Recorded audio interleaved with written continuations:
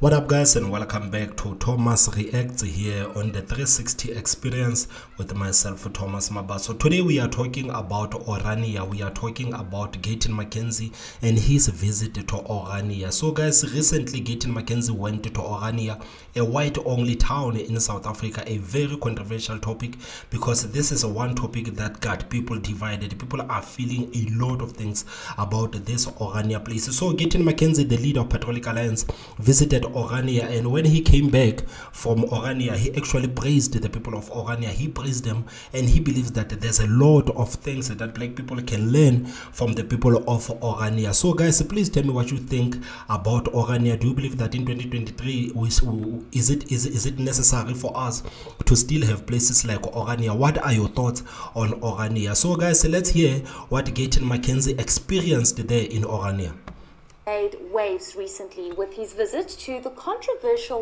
whites only town of Orania, praising the town's commitment to infrastructure development, technic, uh, technical schools, and empowering its residents. McKenzie believes these efforts should serve as a model for the rest of the country. McKenzie joins me now in the studio to discuss this and more. Thank you so much for your time. we do appreciate it. Um, sure. Let's just, before we get into how you even got into Orania. Let's just start with why. Why did you decide to go visit there and sleep over? Well, basically, you know, I we in the Patriotic Alliance want to bring all races together, white, black, Indian, colored, under one banner, one God, South Africa. Uh, and, you know, where do you start? You start with the people that want to be separate. And Orania has always been a short word for racism in the black community. And I wanted to go and hear the other side of the story. I wanted to go and understand why is it that you don't want to mix with the rest of South Africa. And I didn't want to judge people. I wanted to go there, hear it firsthand, and then make up my own mind. And I um, managed to get that right. How did you get in? and sleep over with your whole crew. I mean, we can't show the whole crew right now, but you, you, you're never alone. You're always with your crew. How, how did you manage to get in? I think first, I think my surname McKenzie, they thought I'm white. I'm just joking, but let me tell you. No, no, we, we, US is one of the people there. They are very close to, uh, we have a mutual friend, and he managed to arrange for my visit. And they allowed me in. My first question there was, can I have, I love black coffee. So I didn't know his black coffee was allowed in Orania. and he said, no, I can have black coffee. I said, no, that's cool. Okay, that's a very cheesy um, joke, but let's just um, start with also what you found when you got there, because they are perceived to be um, a racist group, not allowing uh, people of color in, in the town. Uh, they're very segregated. I mean, they even have their own currency. But what did you find um, when you went there? I think before we come to the fact they don't allow black people there, what I found, the first thing I found was the town to be clean, very clean. I mean, I've been to towns. I mean, the town is litter free, literally. That's the first thing I found. The second thing is that everybody greets you. It's that town, and not only us. People greet each other. It's nobody walks past without greeting. And I think the third thing we found was, I mean, and this guy proved it to us. One guy was just they leave their car keys in the in the car. They leave their laptops on the seat, and that's what I found there. And and it couldn't have been staged because you drive past a car and you can see that this car has not been locked or people are sitting there. So those are some of the things I found, and I was mightily shocked to see that there's no black person in the town.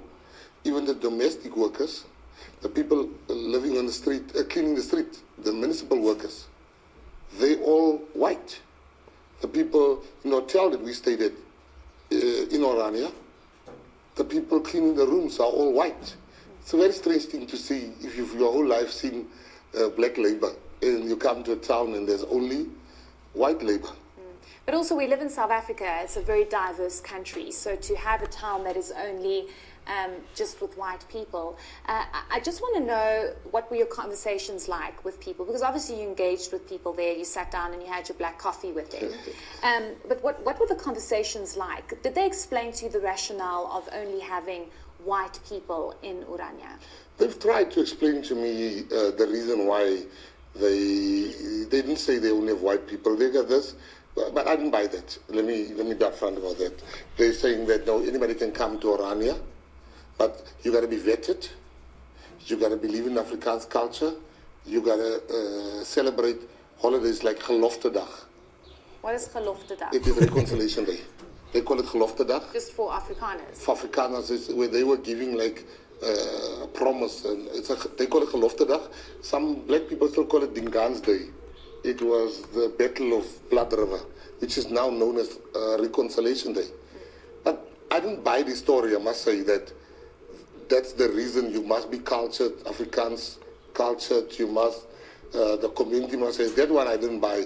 It, it, it, I think they are not honest that they don't want black people there, but they don't say it like that. They don't say you are not welcome if you are not white, but they come. They put you have to jump through a lot of hoops, which it's impossible to jump through as a non-Afrikaner. So I think on that front, uh, they don't say it. They just say that we've got the rules here, but the rules, it's impossible for a non-white to even make it halfway through those rules.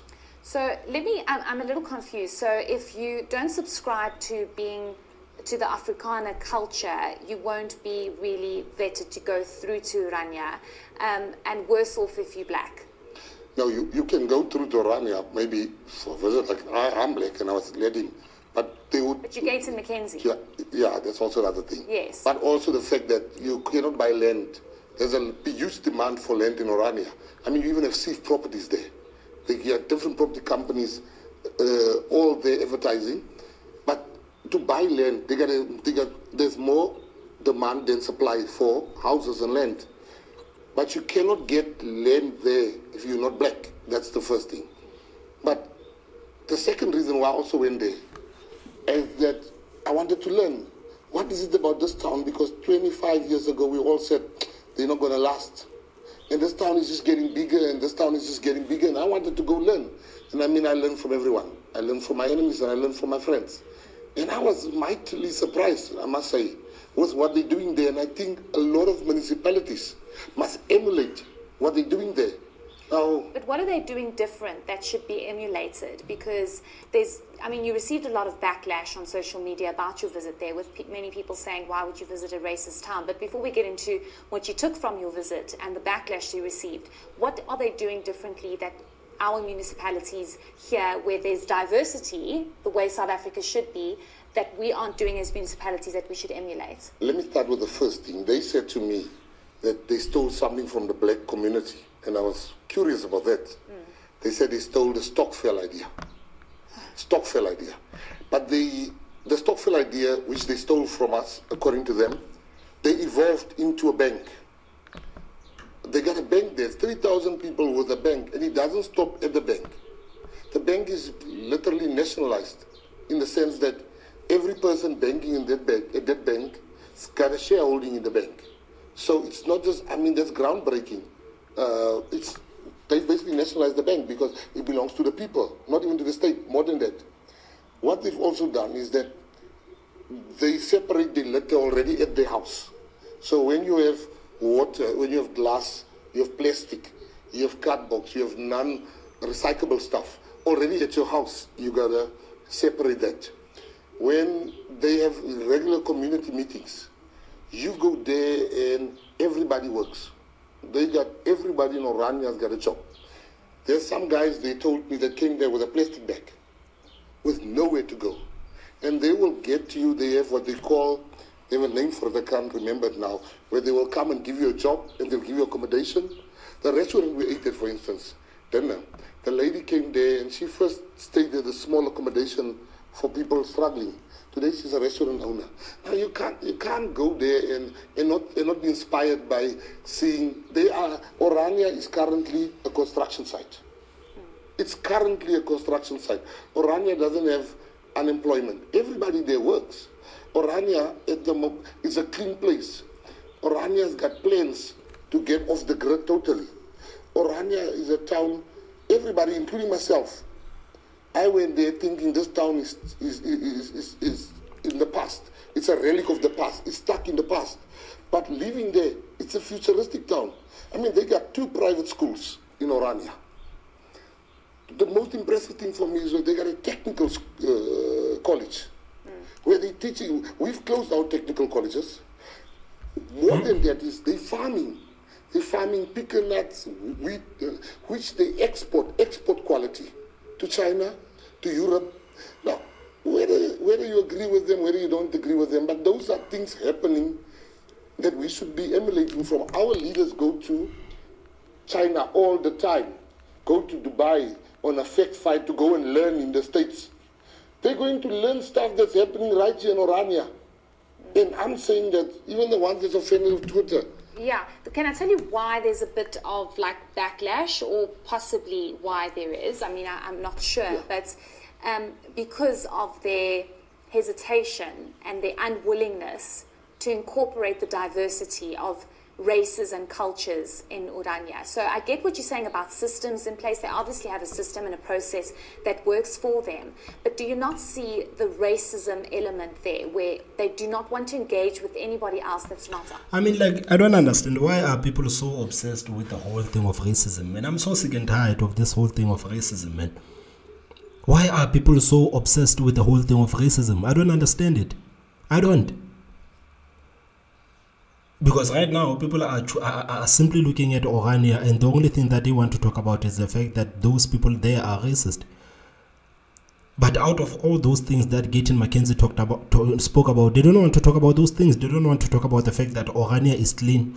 They don't want to talk about the fact that the, the, the Orania government created a conducive environment where everyone, where, where it's possible for everyone to get a job. They don't want to talk about the fact that Orania still has technical schools. Like those are the things that in, in, in black communities we should look at, man. All this like this thing of us always focusing on racism on, racism, I don't think is doing us any favor, man. It's not doing us any favor, man. It's not doing us any favor.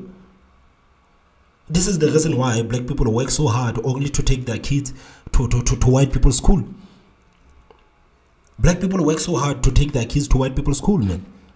And it is a problem in the black community that thing it is a problem because it says a lot of things about us as a black community.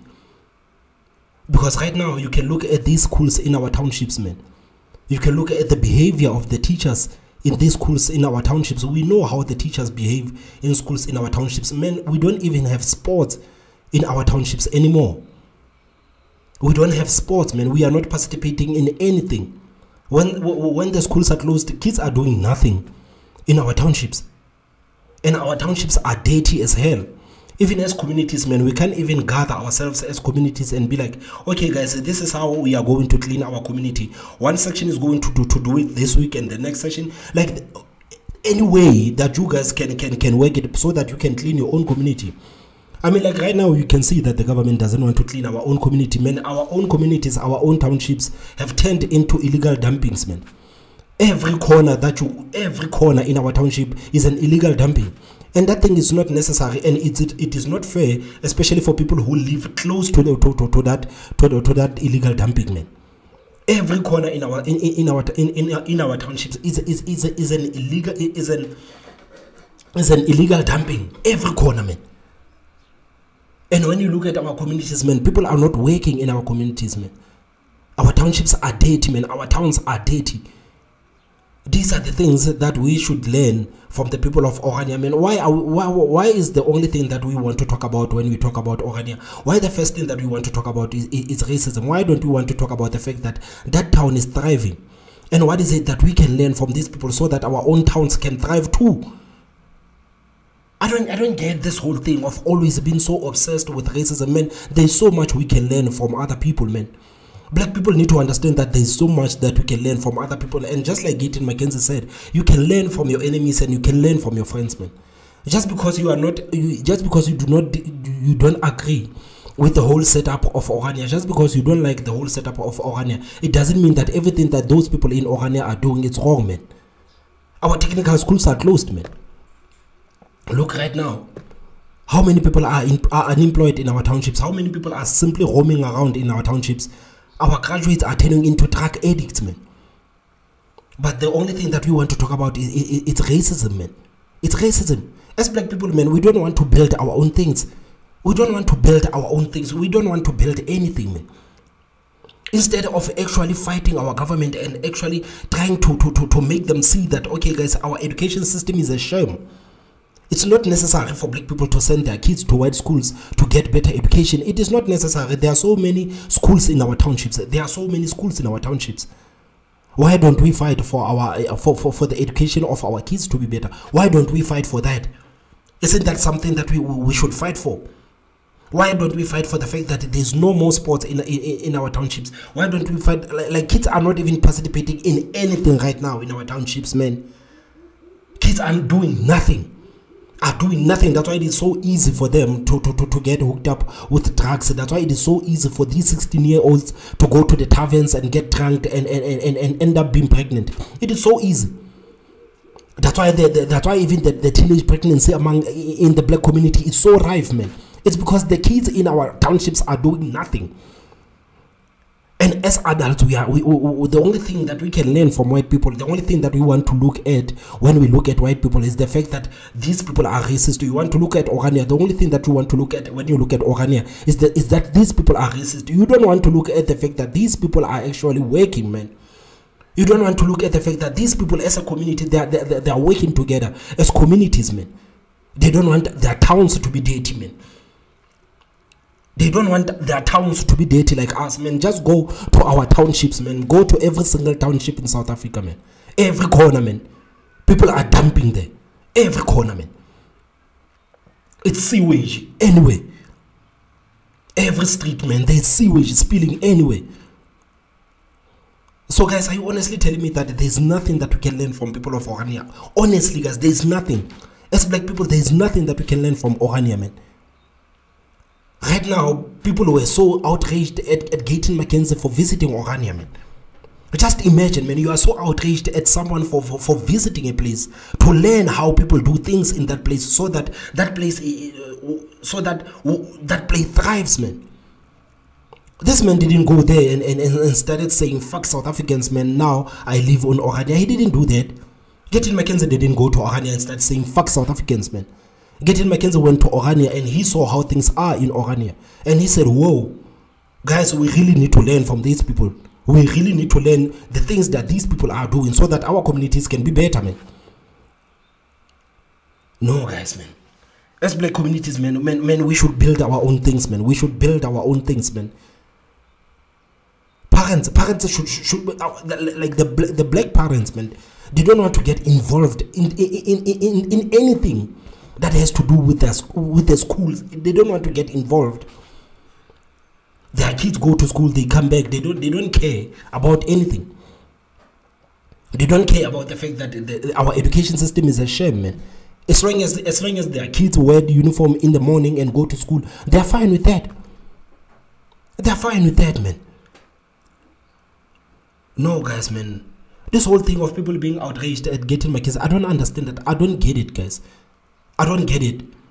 And it's okay. You, it's okay if you are, if you feel different from me. It's okay, because me as a black person, I say that there's a lot that we can learn from people of Orania. I'm saying there's a lot that we can learn. It can't be that every time when we look at Orania, the first thing that we say is that these people are racist.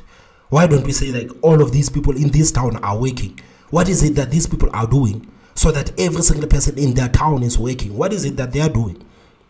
Our communities are so plagued with unemployment right now. Millions and millions of young people are not working in South Africa right now. And we want to focus on racism. Nah, guys, man. Afrikaner. I do see that. Nelson Mandela, first person, one of the first few people he met when he came out of jail was Betsy Verwoerd, the wife of the father of apartheid. Now that's the only way to, to reach out and to sort out the problem is engagement. Now we must be angry with them and say, you racist, and point out. Let's engage them. Let's talk to them. So, from your engagement, what did you get? What, what, what was the point of this visit? What, what's going to happen now moving forward? You know what they do, you know how their processes work. What do you mean, what was the point of this whole visit? Man, Gayton McKenzie literally just explained to you what was the point of the visit. What do you mean, what is the point of this visit, man? What's wrong with this journalist, man? What do you mean, what was the point of the visit when Gayton McKenzie literally explained what was the point of the visit? You've spoken about their bank, how they farm, yes. their schools. What now? Well, the first thing, they were very smart, I must tell you. They bought private land from the government for, I think, 1 million or 1.5 million, 800 hectares. So this is a private, uh, Orania is situated on private land. They then went to court, and in the wisdom of our government, they then settled with Orania that they can have their own municipality. So that's in the record of the court. Where I am sitting is that is Orania right? I don't think it's right. I don't think places like Orania should exist, number one. But I need to understand what is it about, and, and I'm, sympath- I'm, sympathetic towards some of the things they told me. For instance, they said to me, the Afrikaner culture, they want to preserve the Afrikaner culture. But I speak Afrikaans. Afrikaans is my first language, and there's a war against Afrikaans by the current politicians. Hate Afrikaans. There's a war. And that's my first language, and the people I represent mostly speak Afrikaans. If you're going to take Afrikaans, and there's people saying we want to preserve the language, and I can't come with a counter argument and say there's no attack on Afrikaans. You see, the problem that I have with people that is uh, unhappy that this is my life. I take decisions. And if I do, if you want to go to Orania, don't go. But I go where I want to go because I didn't ask you for diesel money to go to Orania. Okay, let's move on to another issue now about uh, coalitions. Kenny Kunene did not succeed in becoming the city of Joburg. So, guys, what do you think about Gayton McKenzie going to Orania? I mean, what are your thoughts on Orania? I mean, do you believe that black people? Do you think that black people can learn from from Orania, or do you honestly believe that there's nothing that we can learn from Orania as black people? I mean, what are your thoughts on this? Please, guys, please tell me on the comment section. Don't forget to hit the like button, and the most important part, guys, please subscribe, subscribe, subscribe. My name is Thomas Mabaso, and I will see you next time. Bye bye.